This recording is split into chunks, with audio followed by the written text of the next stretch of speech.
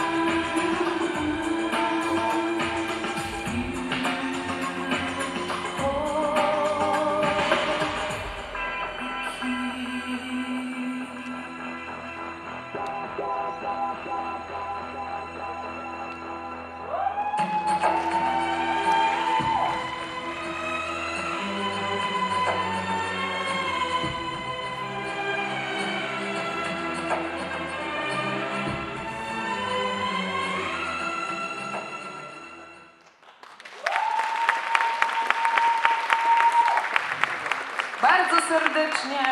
Dziękujemy Beacie za jej występ. Ja nie wiem jak Państwo, ale...